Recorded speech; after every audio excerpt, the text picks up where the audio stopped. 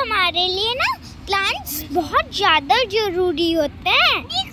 क्योंकि वो हमें ऑक्सीजन देते हैं। अरे हाँ! कितना अच्छा है, प्यारे प्यारे प्लांट्स हाँ आ जाओ चलो। आओ।